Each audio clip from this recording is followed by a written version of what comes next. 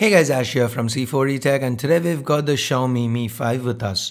So this is the base variant of the Mi 5, the one with the lower clocked uh, Snapdragon 820 chip and 3 gigs of RAM.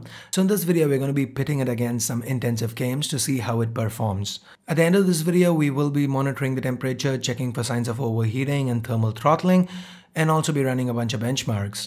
So without further ado, let's get started.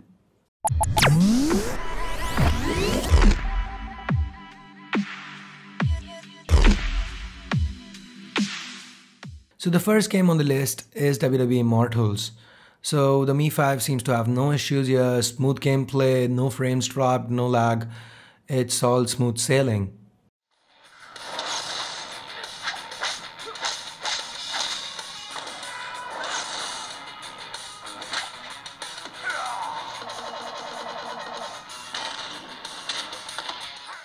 Next up, NFS Most Wanted. So again, very smooth gameplay, no issues. There is some minor dip in frame rates at times. It's barely noticeable, but it is there. But overall, great performance. Uh, the frame drip might be attributed to a lack of optimization because I really don't see the Snapdragon 820 lacking for horsepower.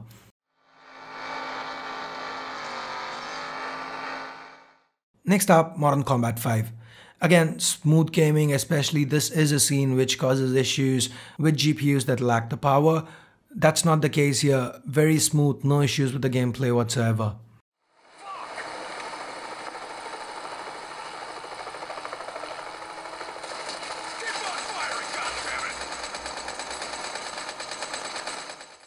And now let's jump into Asphalt 8 and we, we are seeing a trend here, no issues.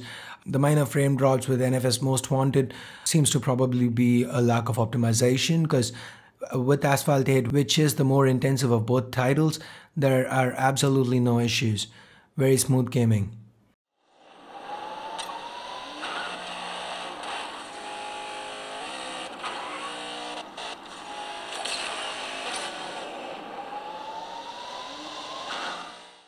Finally, to round it all off, we've got Nova 3.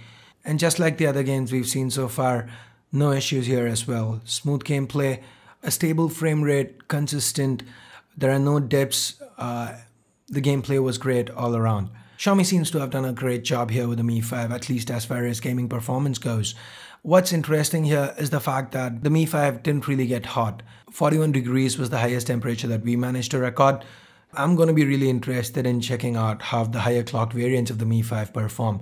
So once I get my hands on a Mi 5 Pro, would you guys like me to shoot a gaming review similar to this? For that, let me know in the comments below or I'll leave a card here to a poll. Just let me know. As far as benchmarks go, again, very good numbers. Not the numbers that Xiaomi teased, but good numbers nonetheless. So I guess that's it for this quick video. Hope you guys liked it. Hope you found it useful. If you did, do give this video a thumbs up. If you didn't, vote it down. If you have anything else to say, hit me up in the comments below. If you do want to pick a Mi 5 up, as of now it's being sold only in China. So you'd have to go through a third-party reseller. Merimobiles.com is my third-party reseller of choice. I'll leave a direct link in the description below. Feel free to use that if you want to help the channel out. So that's it. Thanks a lot for watching. Till next time, this is Ashia from C4E Tech signing off. You guys have a great day. Bye bye now.